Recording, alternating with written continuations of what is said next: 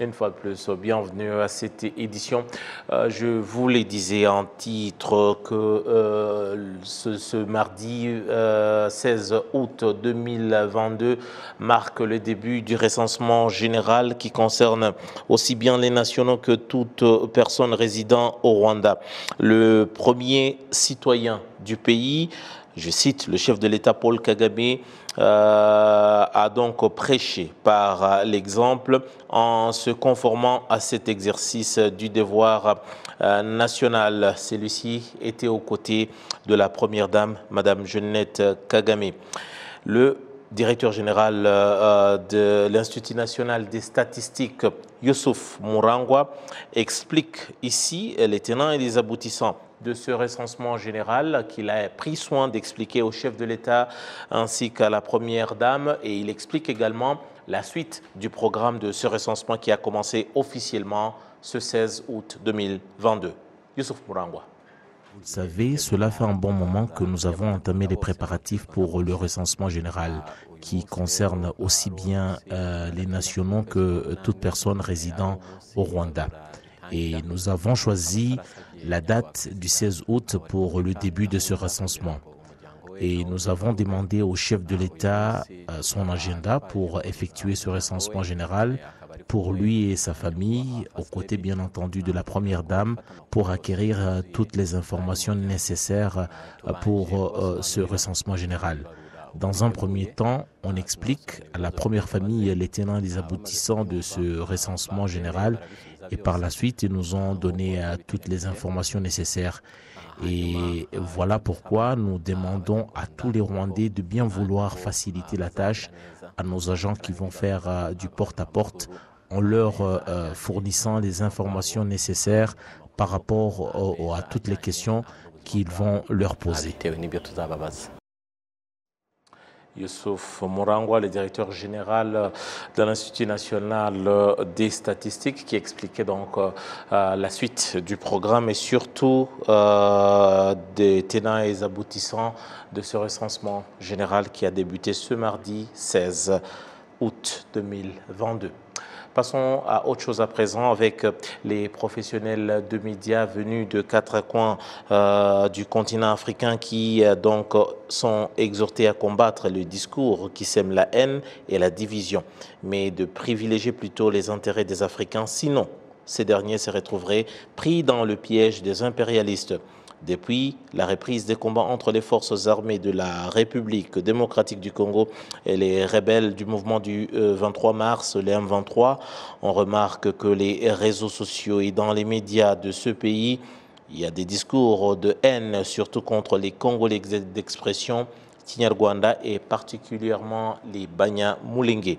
Ces discours qui mènent au conflit et à la guerre préoccupent au plus haut le Forum des organes des régulations des médias dans le pays de la région d'Afrique centrale, comme l'indique ici le président de ce forum, Joseph euh, Chebonkeng Kalaboussoussou.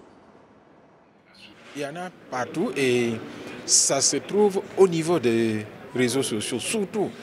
Et aussi les professionnels de la communication parce que notre but, c'est de rappeler toujours à ceux qui ont été formés qu'ils ont une contrat sociale avec leur population, une responsabilité morale envers leur population.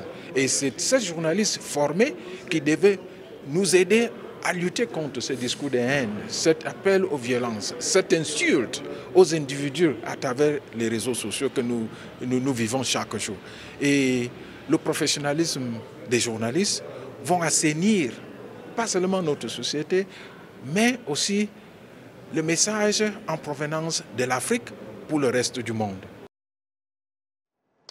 C'est donc euh, le euh, président euh, du Forum des médias dans les pays de la région d'Afrique centrale, Joseph Chebokeng Kalaboussou.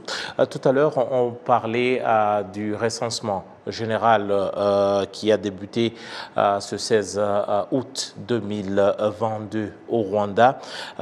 au téléphone, nous sommes rejoints par l'économiste et spécialiste de l'économie de la région, Teddy Kaberuka, qui se joint à nous. bonsoir Teddy. Bon après-midi, ça va? Oui, ça va. Merci euh, de vous joindre à nous. Euh, tu dit déjà, euh, ce recensement général, c'est un recensement qui intervient dans une période assez particulière où le monde tout de même fait face à certaines péripéties économiques. Le Rwanda n'est pas du reste. Déjà, ça s'explique comment et surtout, qu'est-ce que cela apporte pour ce qui est de, tous les chiffres, de toutes les mesures, toutes les balances économiques? Eh ben, le recensement, c'est un processus qui permet de montrer l'image d'une façon quantitative de la situation du pays, que ce soit euh, de l'aspect démographique, que ce soit de l'aspect économique. Donc, étant donné que le monde en général, le Rwanda en particulier, est en, crise économique, disons, euh, faire le recensement à ce moment, c'est un moyen de trouver les chiffres ou les indicateurs, les chiffres les plus actualisés. Sinon, on utilisait des chiffres estimatifs. Et, là, avec le recensement, on a la chance d'avoir bien exact. Cela peut permettre une bonne planification des, euh, des, initiatives de relations économiques avec des chiffres à l'appui. Sinon, on faisait des estimations et, et l'idéal, c'est d'avoir des chiffres concrets. Tu dit euh, déjà, il faut savoir que c'est quand même un travail de, longue haleine. Euh, y a-t-il des catégories précises, euh, par exemple, au cours de ce recensement, qui vraiment, dont les informations permettent à, statuer sur l'état exact de, de, l'économie ou soit à projeter des dépenses, que ce soit les dépenses de l'État ou que ce soit d'autres euh, secteur peut-être euh, qui n'existait pas euh, bien auparavant. Ben, comme, comme, comme, on le sait, hein, le recensement c'est un processus qui capte plusieurs informations et, et, et le, le, rapportage, on trouve différents rapports, qu'on appelle les rapports thématiques, hein, d'après les, les, différents thèmes. Donc il y a un rapport démographique, il y a un rapport économique, il y a un rapport politique et différents aspects. Et je pense que pour l'instant, si je pouvais euh, recommander les priorités, on a besoin plutôt des rapports immédiats, euh, démographiques et, économiques. Et, avec l'usage de la technologie, comme on, l'a discuté avec l'Institut national de statistiques ce matin, ils nous disent qu'ils seront à la hauteur d'être d'être au moins prêts à, avoir le premier rapport, les, rapports préliminaires vers la fin de l'année, ce qui est déjà une bonne chose. Donc, avec l'usage de, la technologie de l'information, c'est facile de collecter les informations, les analyses et puis tout ce qui est euh, rapportage. C'est vraiment facile. Évidemment, ça coûte euh, un grand budget, ça se comprend, mais la valeur des, des, des statistiques est incomparable par rapport à l'investissement. Mais tout de même, euh, euh tu dit, euh, le citoyen lambda s'est dit, euh, lorsqu'on remarque par exemple, c'est un travail pour euh, ce recensement général dont le budget varie euh, entre 25 et, 30 milliards des, francs rwandais. le citoyen lambda peut se dire, est-ce que ça, ce ne sont pas des dépenses qui ne sont pas nécessaires en ce moment? Où euh, les caisses de l'État peut-être ont, besoin d'être euh, beaucoup plus euh, renflouées qu'avoir des dépenses. Ce sont des, comment justifier, comment expliquer aux, citoyens lambda le bien fondé d'un tel exercice? Bon, la compréhension simple du citoyen lambda, comme il dit, hein, il faut qu'il comprenne que il est dans un pays qui a besoin d'une planification euh, basée sur les chiffres exacts. Ça veut dire que le citoyen lambda, si c'est un, agriculteur, il a besoin d'engrais chimiques, il a besoin d'une route qui relie son champ au marché, il a besoin de l'État pour scolariser ses enfants, il a besoin d'un centre de santé dans, sa proximité, il a besoin de l'eau, de et, tous ces infrastructures de base et tous ces services dont il a besoin, c'est l'État qui doit avoir des chiffres indexables pour faire la planification et faire des investissements vers le citoyen lambda. Donc ça, c'est une explication simple. Mais d'autre part, le citoyen lambda qui peut avoir un business quelconque, il a besoin de savoir des, des, des, des statistiques démographiques, de savoir par exemple dans sa communauté, la population, le nombre de la population, les jeunes c'est combien, les, enfants c'est combien, les, adultes c'est combien, les gens qui ont les moyens c'est combien. Comme ça, il peut avoir, avec ses initiatives privées, par exemple, s'il a un business, savoir, hey, dans, ma proximité, oh, j'ai une population autant, je peux faire mes investissements en fonction du marché que je connais très bien. Donc je pense que euh, les, investissements faits pour, euh, un recensement, les gens doivent comprendre que ils doivent exploiter les données du recensement pour euh, les valoriser, soit au niveau individuel, dans leurs activités individuelles, mais aussi pour les activités de l'État.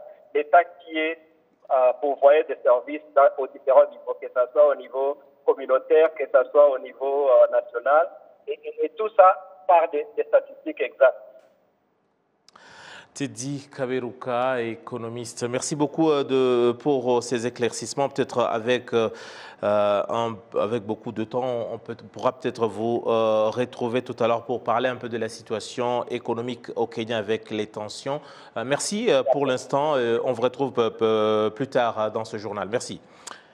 Voilà, on, reste au chapitre économie avec euh, notamment les experts en matière euh, économique et commerciale qui disent être euh, nourris de l'espoir que la balance économique, le déficit de la balance commerciale du Rwanda devrait donc connaître une réduction grâce aux programmes et politiques qui seront mis en place par le gouvernement du Rwanda afin de l'édification d'une économie solide. Les détails ici avec notre confrère Kassim Youssouf. La Banque nationale du Rwanda indique que les échanges entre le Rwanda et l'extérieur sont en pleine reprise après que la pandémie de Covid-19 ait été atténuée, ajoutant que par rapport au second trimestre 2021, l'on trouve que la production que le Rwanda exporte s'est accrue de 32,2% au second trimestre 2022. Mais toujours est-il que les importations du Rwanda ont augmenté de 24,5%, ce qui a entraîné un déficit de 20,6% consécutif à différentes raisons. Nos importations sont supérieures à 2 milliards alors que nos exportations sont de près de 400 millions. Vous pouvez donc comprendre que l'écart entre nos importations et nos exportations diminue. Ce dont nous devrions nous réjouir, c'est que nos exportations ont continué de croître, tout comme nos importations. Les exportations vers nos pays voisins ont augmenté Toutefois, l'importation, en particulier le pétrole, a considérablement augmenté, ce qui a entraîné l'augmentation du coût des importations. Le chercheur dans le domaine du commerce Gaïgana Innocent indique que la réduction du déficit de la balance commerciale prend du temps. Eh bien, cet écart est lié à l'histoire du Rwanda. Par exemple, nos industries n'ont pas 20 ans depuis qu'elles sont opérationnelles. Ce sont des choses que nous sommes encore en train de construire. Même en produisant suffisamment de produits, nous avons encore du chemin à faire. Malgré cette situation, le docteur Roussivana Claude estime qu'il y a de l'espoir que prochainement la production du secteur industriel rwandais pourra augmenter et ainsi décourager l'importation. La mise en place d'industries basées sur la technologie au Rwanda se développe, de sorte que cette croissance va nous donner l'assurance que ce qui sera produit dans ces industries sera nécessaire aux pays étrangers et ainsi les exportations augmenteront.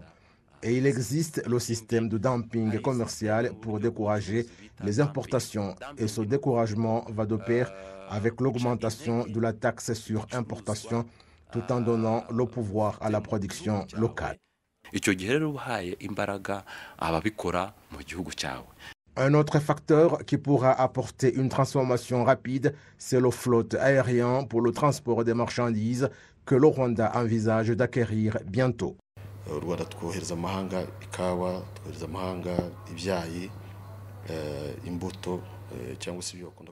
Le Rwanda exporte le café, le thé et des produits horticoles, ce sur quoi le Rwanda déploie beaucoup d'efforts. Aujourd'hui, les exportations incluent des légumes et des fruits qui augmentent, ainsi que les défis que nous avons en matière de transport. Le Rwanda n'avait pas d'avion cargo. Pour cela, les fruits et légumes doivent être transportés rapidement.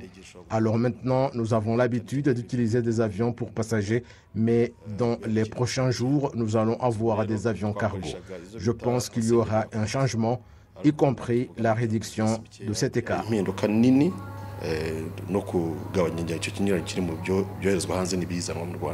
Bien que le déficit de la balance commerciale du Rwanda ait augmenté à la fin du mois de juin cette année, la Banque nationale du Rwanda indique que l'épargne du Rwanda en devise était suffisante pour aider le pays à faire des importations des biens et services pendant au moins cinq mois, raison pour laquelle le franc rwandais n'a pas enregistré une forte dépréciation.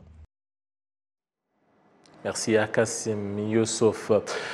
Euh, pendant ce temps, les habitants du district de Nyagatare, nous sommes à l'est euh, du Rwanda et particulièrement les euh, agriculteurs se disent ou se félicitent en tout cas du début de production de leurs produits agricoles par la société de transformation qui depuis bientôt deux, ans, ces habitants ou ces cultivateurs attendaient que cette usine soit opérationnelle.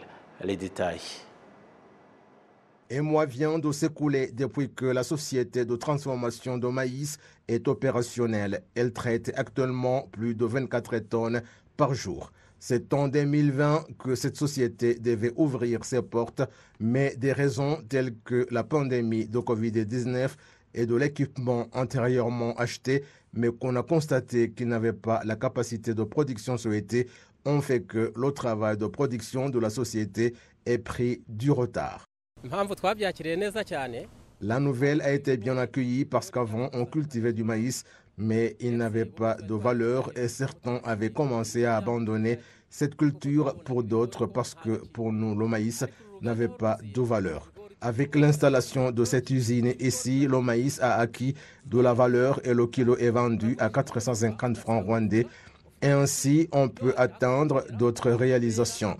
Nous sommes donc reconnaissants au président de la République et à son gouvernement parce qu'ils se sont souciés de notre sort et nous ont donné cette usine.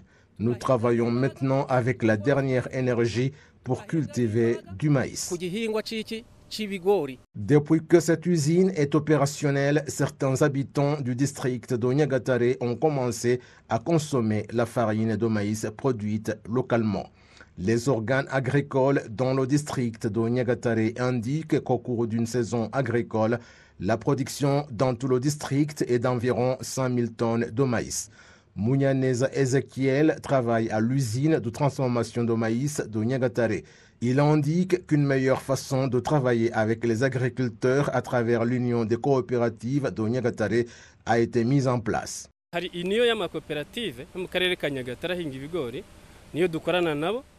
Il y a l'Union des coopératives et des agriculteurs de maïs avec laquelle nous collaborons et l'usine envisage de les aider dans tout le processus agricole jusqu'au moment de la récolte. C'est une aide qui va consister à trouver d'intrants agricoles de façon qu'aucun enfant ne manquera de frais de scolarité alors que les parents travaillent avec l'usine. Tel est notre objectif pour que l'usine fasse progresser surtout le cultivateur. L'usine de transformation de maïs de Nyagatare se trouve dans la zone industrielle de Nyagatare à Rutaraka, dans le secteur de Nyagatare, et les travaux de sa construction ont coûté environ 800 millions de francs rwandais. Les organes agricoles dans le district de Nyagatare exhortent les agriculteurs à fournir davantage d'efforts dans les programmes visant l'accroissement de la production afin d'exploiter cette opportunité que le gouvernement leur a accordée. Nous sommes une fois de plus rejoints par Teddy Kaberuka. Teddy, une fois de plus, bienvenue. Euh, Teddy, euh, la victoire de... On a suivi dans cet élément, le tout dernier élément, on parle du programme économique de euh, William Ruto qui semble avoir convaincu son électorat. C'est quoi déjà? Qu'est-ce que ça représente C'est quoi le discours? Qu'est-ce qu'il a vendu pour ce qui est du programme économique? Ben, son cahier de charges est articulé autour de la création de l'emploi, la valorisation des petites et moyennes entreprises, des petits entrepreneurs, la création d'emplois. Et, là, c'est un message fort que tout, tout Africain a besoin d'entendre, pour un président surtout, et encore plus dans un pays avec une démographie très jeune, avec un secteur privé qui est euh, prédominant, les secteurs informels, des, des, des, gens qui font le petit business.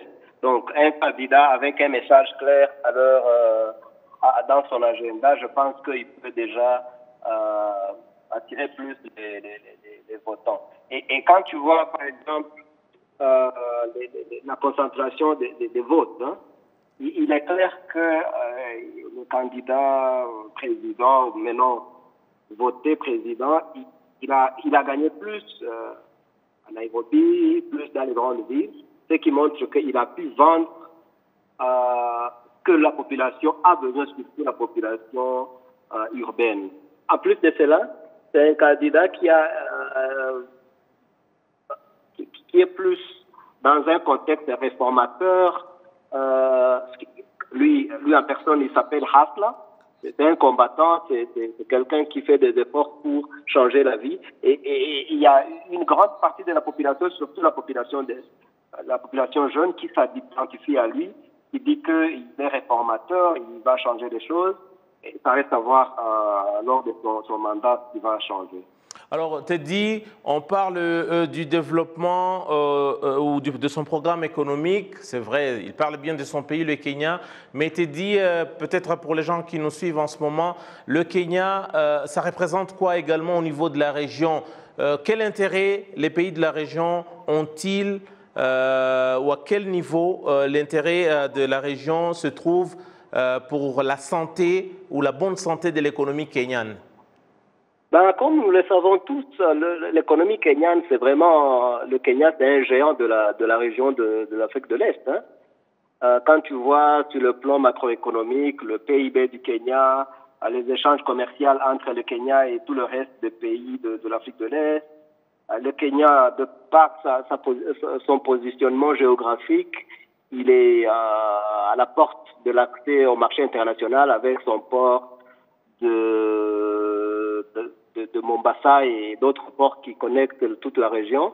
Le Kenya exporte euh, une grande partie des produits manufacturiers dans la région. Hein. Euh, L'Ouganda, le Rwanda, le Congo, le Burundi. Donc le Kenya, vraiment, c'est un géant dans la région mais encore plus quand euh, je fais référence, par exemple, à, aux investissements euh, étrangers qui se font dans la région. Le, Kenya vient en avant par rapport à d'autres pays. Euh, les exportations, non seulement vers la région, mais aussi sur le marché international. On sait que le Kenya est parmi les pays qui exportent des produits agricoles sur le marché européen par rapport à d'autres pays. Donc, le Kenya, c'est vraiment un géant. Ma, malheureusement, malgré que c'est une grande économie, malheureusement, le, taux de pauvreté n'est pas aussi différent des, pays de la région, malheureusement, mais, mais, mais le Kenya reste un grand pays économiquement et avec ses échanges commerciaux avec le reste des pays. Teddy Kaberuka, merci beaucoup pour ces précisions et c'est euh, par vous euh, que nous marquons la fin de notre édition en langue française. Merci beaucoup Teddy pour euh, votre temps et votre contribution et surtout grand merci à nos téléspectateurs du journal télévisé en langue française. Je m'appelle Eddy Sabiti, je remercie toute l'équipe qui m'a réalisé conduite par Léoncy Kanzaïré. Et à mon nom propre, je vous dis de rester bien fidèle au programme de la télévision rwandaise. Au revoir.